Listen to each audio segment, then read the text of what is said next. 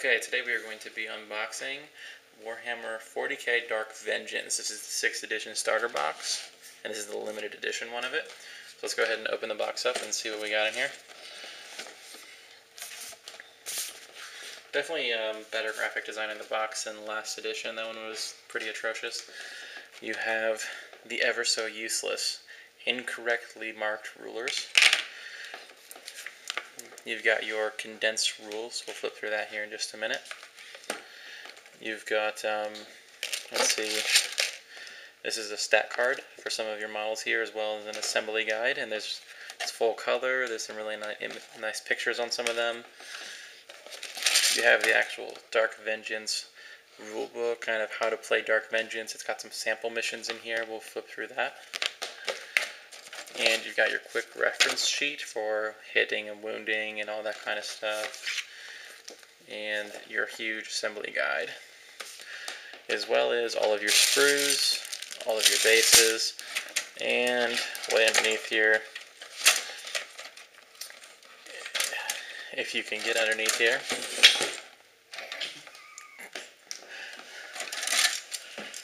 Alrighty, let's see what we got underneath. You have uh, Blast and Flame templates. Same style as last edition. There is a new style of templates, but it doesn't come with this. Here another quick reference sheet. And your dice with the scatter die. So we're going to go ahead and get a closer look at some of these. Okay, back of the box here. You've got some of the models painted up. This is pretty much everything that comes in the box. Painted up really nice. Quick blurb about the missions and that that comes in here. It's it really is a nice um, setup for the box. It's at least a lot better than Blackreach was. So uh, we're going to go ahead and take a look at um, the rulers. As I mentioned before, these things are atrociously useless. The numbers, I haven't checked this edition, but every time in the past, the lines on these haven't marked up with a ruler, so I wouldn't, I wouldn't trust these with anything. Um, far as your, oh yeah, let's let's measure them and, and see if they're correct this edition, because that would just that would astound me. Okay, so these are supposed to be 18 inches, and as you can clearly see, if I can get this on camera, here's my 18 inch mark, and I'm not sure if you can see their 18 inch mark, but it's uh it's about a little bit more than a full quarter inch. It's about yeah, probably three eighths of an inch off. So it's it's just it's wildly inaccurate. It's it's pretty awful. So don't trust those. I don't know how they don't actually measure something properly. It's a pretty simple concept, but let's take a look at the quick reference sheets here. Um, basically, this just goes through um, what kind of things you get from different cover, what your you know your turn sequence is, your moving, shooting, all of that. You've got what different types of weapons you can fire based on how you moved. You've got uh, special movement distances, so infantry, walkers, bikes, all that, to hit and to wound charts. And they got two of these because, well, let's face it, you have two armies. Um, so two people are going to be playing. And you've got your uh, Dark Angels roster, which has all their stats and some special rules. Granted, these won't be the same as when the codexes come out. And you've got all of the uh, Chaos ones with all the stuff that comes out for uh, with the box, box with this. And on the back is even more quick, quick reference stuff vehicle damage table, advanced weapon rules, movement chart, charge moves, deep strike mishap table.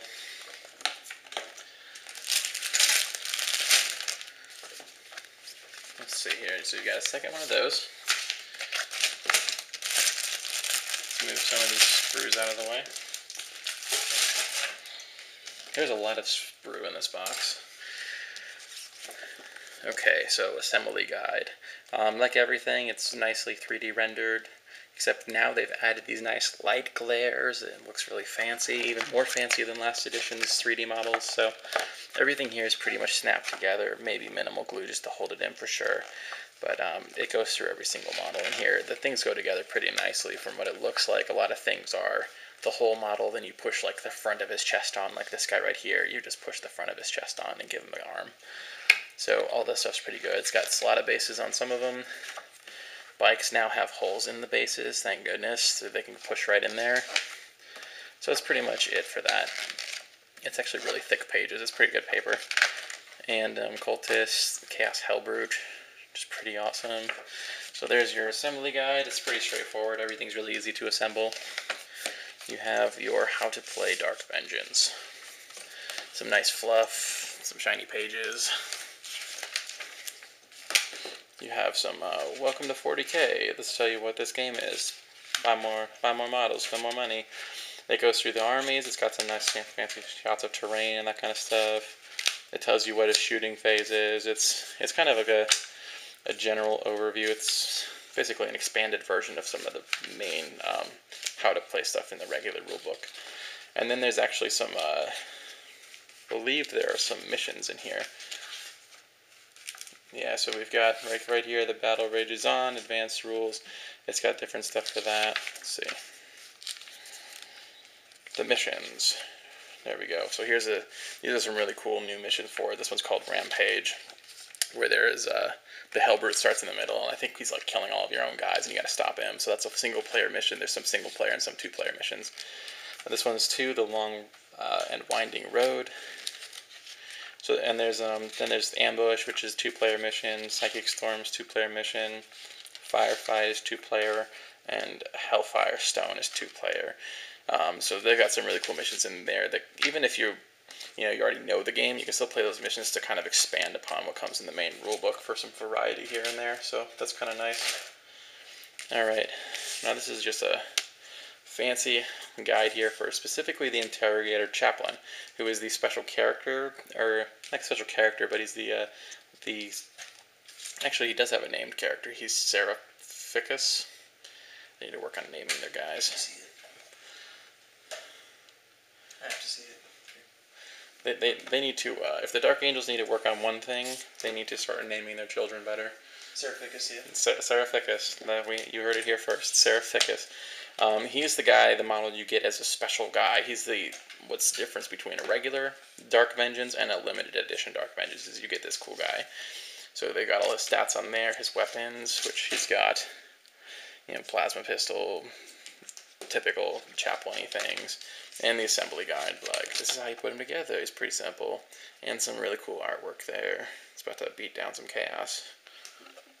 Okay, so finally, condensed rules. For all of you who are familiar with 4th edition and 5th edition, same exact thing. Condensed rules, only this time it's much more color, meaning there is color.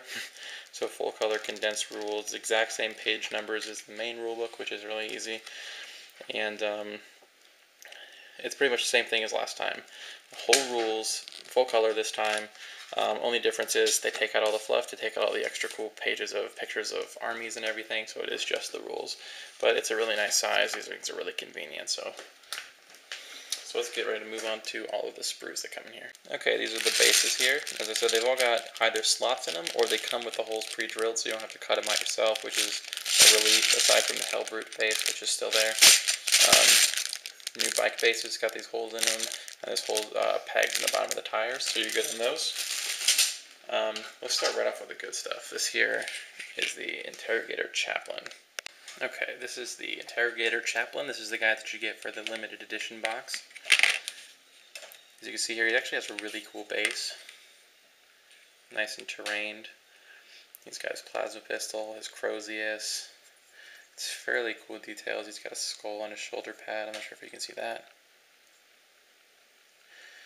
And um, just generally, I mean, they're, they're really they're really nicely detailed for being snapped together models. He's got nice ether flame coming out of his jetpack or his backpack rather.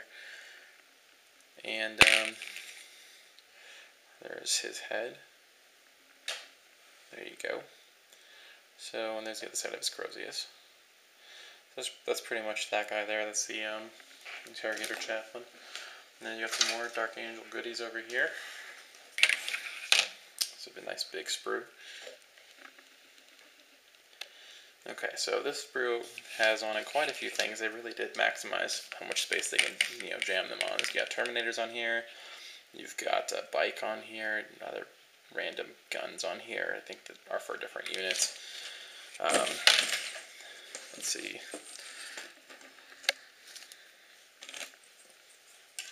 Okay, so starting over here, uh, Terminator guy with sword.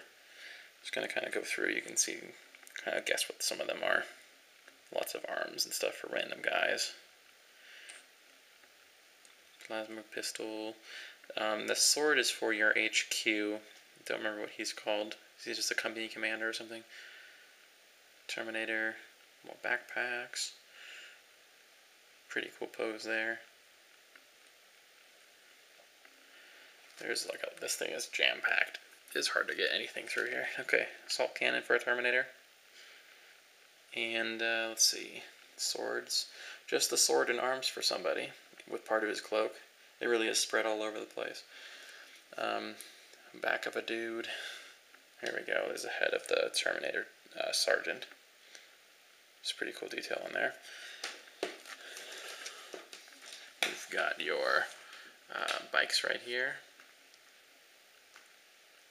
One half and the other. They come with the uh, those birds on them now, as opposed to separate pieces.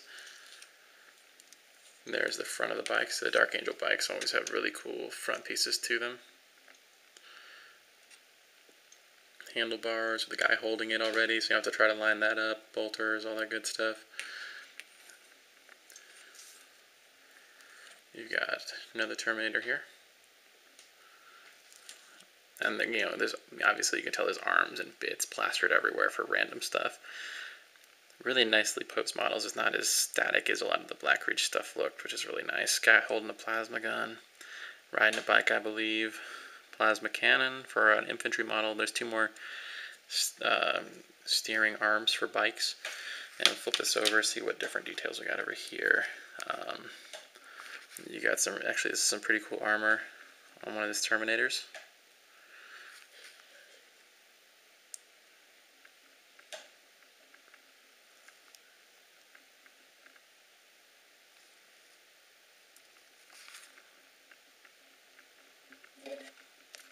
This is pretty sweet head here too. This looks like it's going to be a lot of the uh, new Dark Angel style. That's pretty much all you got on this side. The rest is uh, empty spaces for the next sprue.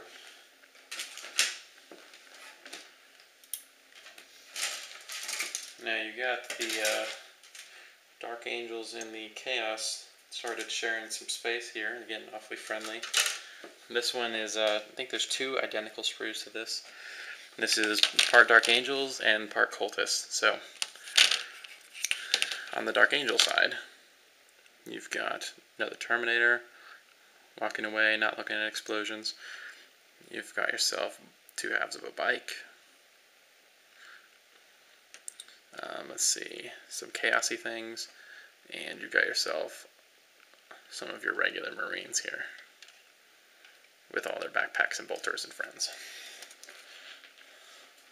Other side, you can see Terminator here, same one. I like this new style they're doing. It's kind of like one of the old Mark ones they saw in Forge World for those. And um, bikes and just backs of Marines, pretty plain. Now you have cultists, which are these nice little, like, what are they, four or five point models holding like auto guns and close combat weapons or something. Auto guns are basically las guns, so for any of you who have played Genestealer Cults, they have some really cool poses, some really cool models there. Nice spiky club things. And uh, the back of some cultists.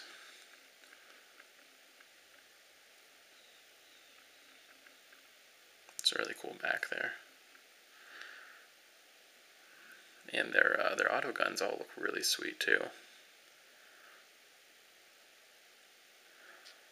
Some chaos backpacks. And you got an actual chaos guy here. I'm not sure if he's one of the chosen or not. I'll have to take a look.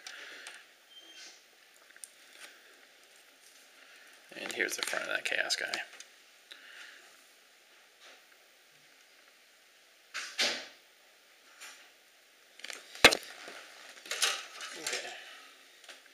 Now next sprue, there is actually two exactly like that, so there's two identical sprues there. And you got your last sprue now, which is the rest of the chaos stuff. So you've got, uh, this is kind of one of the more exciting sprues here. Let's see what you got here as far as there are Don't believe there's no Dark Angels on this, so this is a Chaos only sprue. You've got some Chosen guys kind of walking away. You've got probably one of the coolest backpacks that they will ever make. There's the back of it on there. This is the part that goes against his back. As you can see, everything has like its unique pattern there, like in the middle of that. So make sure when you're clipping these off that you're following the directions so you know specifically which model that goes on because it will only go on one of them for the most part.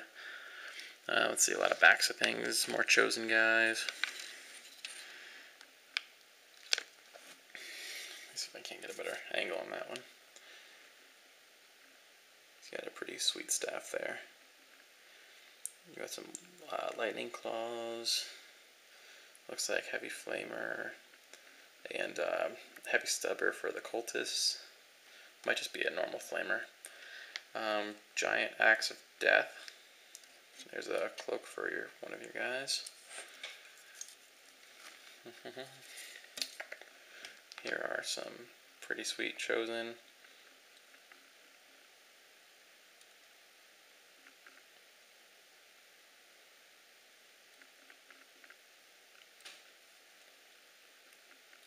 Some of your uh, cultists here too.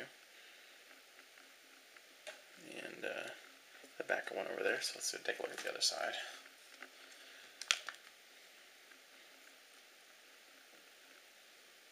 It's a pretty awesome pose.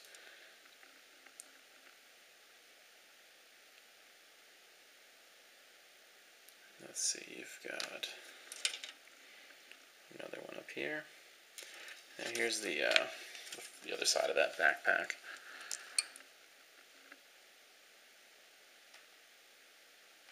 It's a pretty cool backpack there. A pretty awesome sword.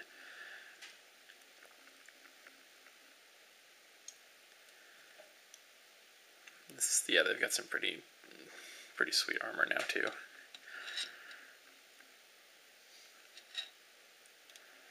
There's the front of one of those cultist leaders. And then you've got the uh, the Hellbrute on here as well. Which here is his back. He's pretty big. He's about the size of a dreadnought. There's the back of the Hellbrute there. Surprisingly, got a large amount on one piece, and they've got a little bit of terrain on his foot there since the base he comes with is, is plain. And then you've got the front of the Hellbrute.